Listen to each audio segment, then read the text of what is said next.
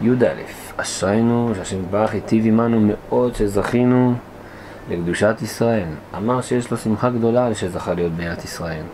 כי כמה מניעות וכמה בלבולים וכמה מחשבות וכמה עיכובים וסכסוכים היה לו על עניין נסיעה לארץ ישראל. ומניעות מחמת ממון הוא קפץ על כולה וגמר העובדה בשלמות והיה בארץ ישראל.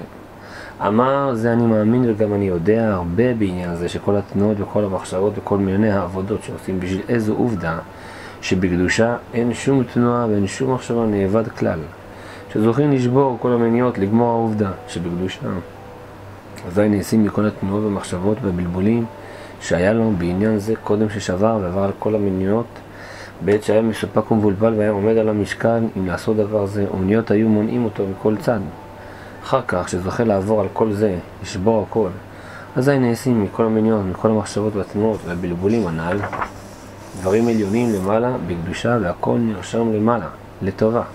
כל תנועה ותנועה שהיה לו מקודם, אשרי שזוכים לקפוץ על כל המניעות וזוכים לגמור ולעשות איזה עובדה טובה. אשר בנה